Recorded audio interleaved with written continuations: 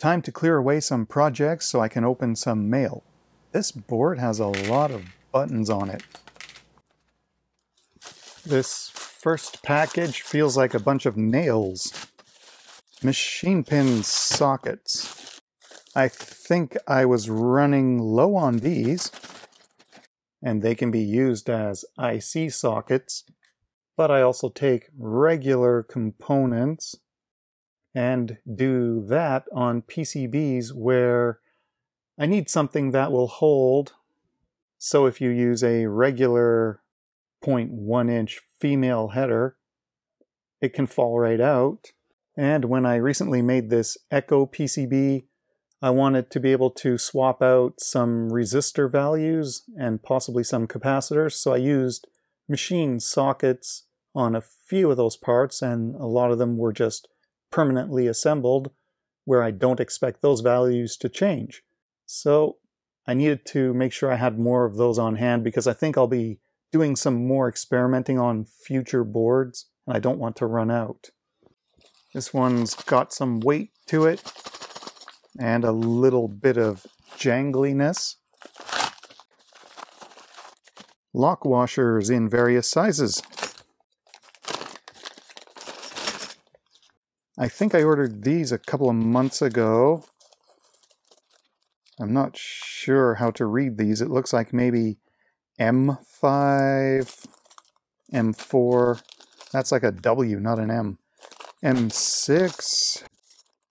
And I don't know what that says. M10. Just a basic split lock washer. So I've needed a bunch of these. I guess this might have been an assortment kit or else these were the cheapest values for now.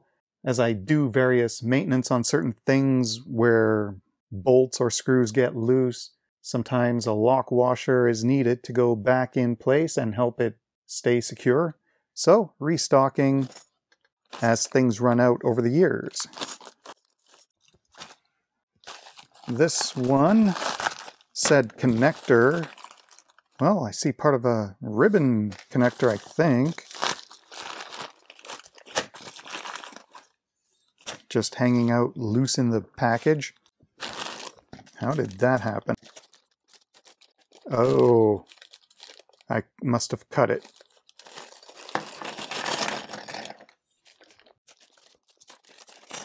It looks like it says 34 pin there, so we have a PCB side keyed and a ribbon female side.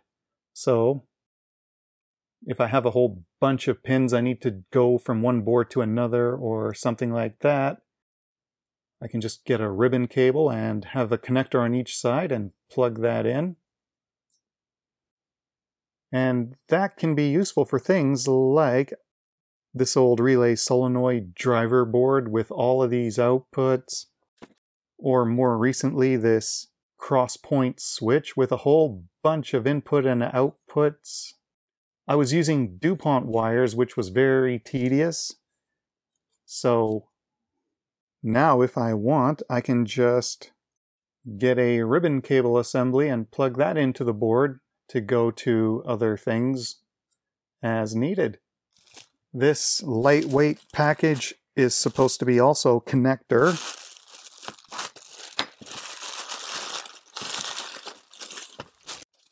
Oh, right. These are magnetic docking 4-pin, I think. Yeah.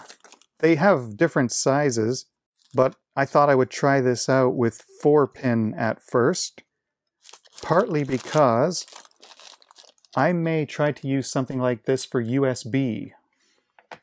So there's five sets. On the bottom, it looks like through-hole pins for a PCB.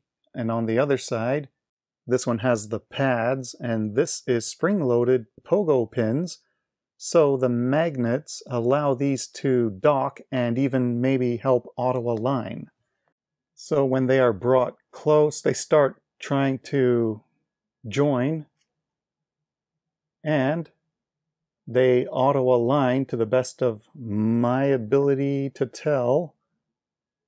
So once they are joined, I can try to move them, but they'll slide back in alignment with the magnets. So I'm hoping this will help with auto connecting when I want to have, say, a stationary thing and then bring another project near and have it auto center and make USB connection and be able to deliver power and have communications between a stationary and a removable part of a project. So if that works out, I'll be ordering more of these, maybe in different amounts of pins as well. And this one is called Measurement. These are AC panel mount meters to measure voltage, current, and frequency. 20 to 500 volts, 0 to 100 hertz, and 0 to 100 amps. I got three of the same one as a test. So the voltage terminals are on the side here. They have screws here to hook it up to AC voltage. Then there's a, looks like a JST style two pin connector here, which goes to this current transformer. And it's not a split transformer, so you have to break the connection that you're trying to measure current for and run a wire through here. And maybe if you're measuring lower current, you might want to loop it around multiple times to be able to measure it. I'm not sure how good this is. So there's a couple of things I want to do. Maybe I can use this on a Variac to give a digital readout of the voltage that it is set to because the one I have just has the analog needle and it's not the most accurate looking thing, but it would also be good to know an idea of the load current. And there's a couple of other things as well, so I wanted several of these on hand. If they work well, maybe I'll get more. So I want to test this and see if it works. In order to vary the AC voltage to see if this thing can track it, I'll use the Variac. And at times like this, it makes it justifiable to hoard all of these old AC power cords and adapters and other things. You never know when you're going to need a spare power cord. Now, if I can talk my way out of this situation, here's a 40 watt 120 volt AC light bulb. The Variac, which has two output receptacles, is just getting powered from a power bar. One of the outputs goes to the panel mount voltmeter, so it's just line and neutral going to measure voltage when we have this turned on. So right now that's off. The other output goes to this janky receptacle box here. So one of those outlets there has probes going to this AC voltmeter, and the other one is going to power this light bulb. So as I change the voltage on the Variac, I should see the voltage coming straight out into this meter change and coming to this junction here, seeing the same voltage, hopefully, on this meter, and the light bulb should change its brightness as the voltage changes. And this is going to be starting out at minimum, so it takes, it says, at least 20 volts for this panel meter to start working but the meter itself gets powered from the AC, so it's actually a little dim at first. And the current transformer is this little cable here plugged in as well. So that's going over here. And the AC powering this light bulb is looped through there three times. So it may be a little hard to see, but the AC wire goes through there three times. If we use our calculator, 40 watts divided by 120 volts is 333 milliamps. So if we triple that, we get about 1 amp. So three loops through the current transformer, we should see 1 amp when we get up to 120 volts. And turn on the AC out. So we're less than 1 volt, 599 millivolts.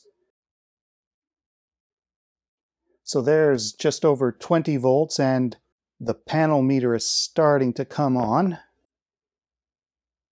And the light bulb is starting to light up. 32 volts. 50 volts. So the panel meter and the multimeter seem to be agreeing on the voltage. We have 60 hertz as well, but not enough current to show up on there yet. 79 to 80 volts. Now we're showing 0.7 amps. I'll just go all the way to 120.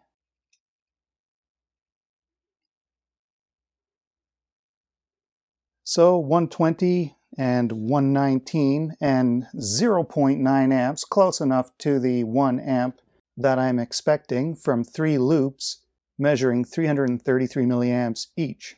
So turning it back down around 100 volts, both meters agree. 85 volts, 76, 63-ish, 47 something, 36 something, and beyond that point, this panel meter is going to start turning off anyway, so success. So now I know I can use these panel meters to measure AC voltage and current in some upcoming projects. And I'm also looking forward to these magnetic four pin connectors getting tested out in self-aligning docking projects. There's still a lot I need to work on with the connector docking projects. Then just regular restocking. Connectors, sockets, washers.